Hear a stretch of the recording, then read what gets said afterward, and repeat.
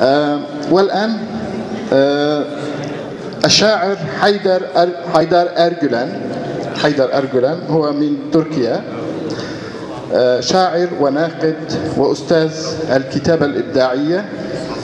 له نزعة صوفية وله أكثر من عشر دواوين شعرية وكتب نقدية حصل على جوائز عديدة في تركيا.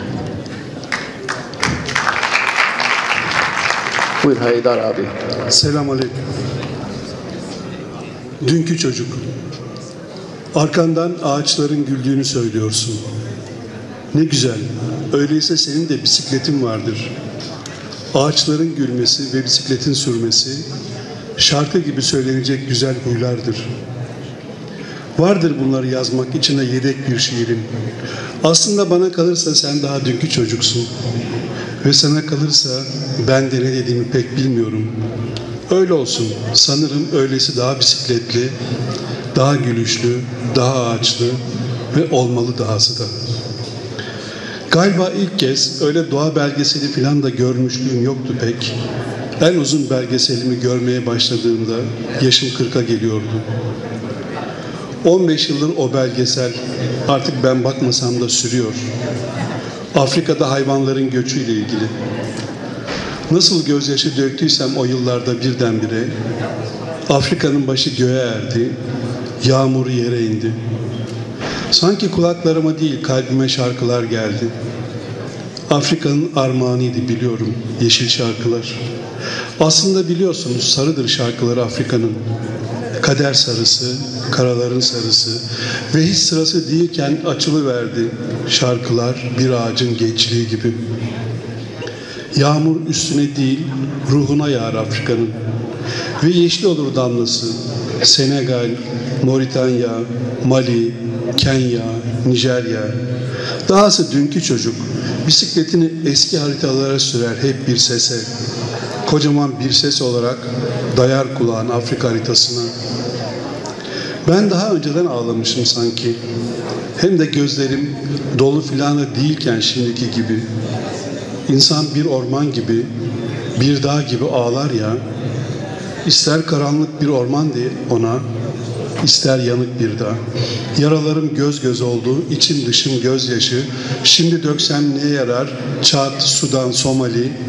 Biz eski gözyaşlarını kaybetmiş bir yeni yaşamasızlar. Siz artık şarkılarına sözü kalmamış bir ahali. İnsan dedim mi bir okyanus gibi ağlar ya derin. Ağrı Dağı gibi hıçkıra hıçkıra bazen bundan fırtınalar eser dünyada.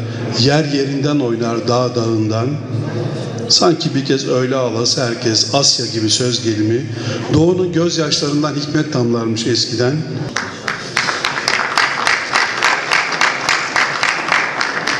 Beyazlar beklermiş doğunun ağlama bayramını. Belki gözlerine bir hikmet düşer diye bu sevinçten.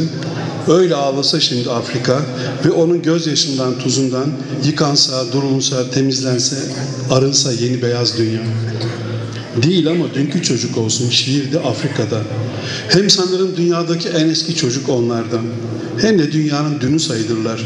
Biz ne kadar unutsak da hatırlatır sesinden süt içmek istediğin çocuk halklar, ağaçlar, bisikletliler, yayalar ve şairler unutmazlar. Baobab ağacı gibi bir kibri var çünkü şiirinde Afrika'nın da inadına diri, inadına yüksek, inadına yavaş, inadına kara. Şükran.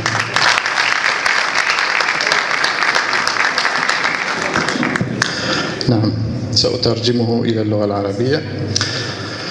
طفل الأمس. تقول إن الأشجار تضحك وراءك. طيب هذا يعني أن لك أيضا دراجة. فضحك الأشجار وسياقة الدراجة من العادات الجميلة كترنم غناء. من المحتمل أن لك قصيدة احتياطية, عن ذلك. في رأيي أنك لا تزال الطفل أمس وفي رأيك أنني لا أدري ما أقول فليكن ما تقول. أظن أن مثل هذا التفكير أكثر دراجة وأكثر ضحكا وأكثر شجرة ويجب أن يكون أكثر من ذلك كله. يبدو أنني كنت أناهز الأربعين عندما شاهدت للمرة الأولى فيلم الوثائقي الطويل.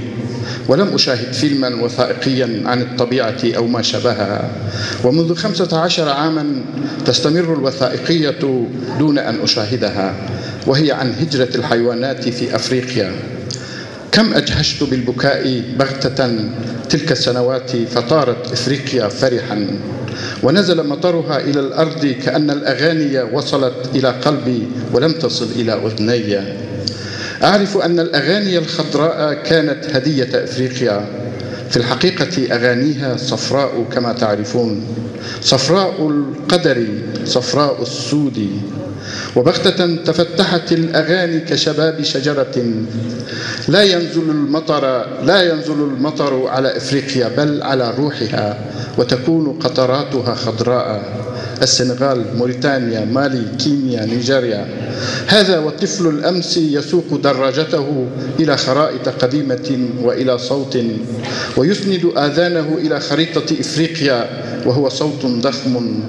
كأنني بكيت من أجلك سابقا ولم تكن عيوني مملوءة أو ما شابه ذلك كما هي الآن.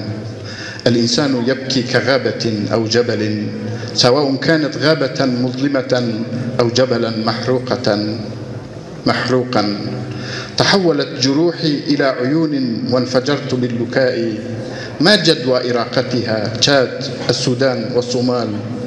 نحن الذين فقدنا دموعنا القديمة والجديدة لأولئك الذين عجزوا على البقاء. وأنتم أيها الذين لم تبق لهم كلمات في أغانيهم. الإنسان كما أسميه يبكي عميقا كالمحيط إذا بكى كجبل أرارات يجهش بالبكاء. ومن ذلك تهب العواصف في العالم وتأتي على الأخضر واليابس وتقتلع الجبال من أماكنها.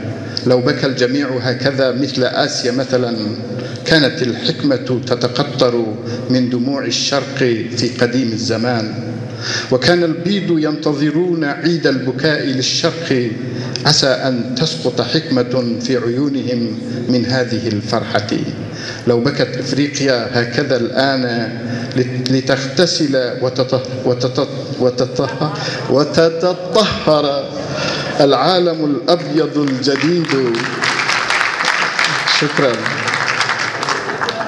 ليست القضية هي الطفل الأمس أو الشعر أو أفريقيا.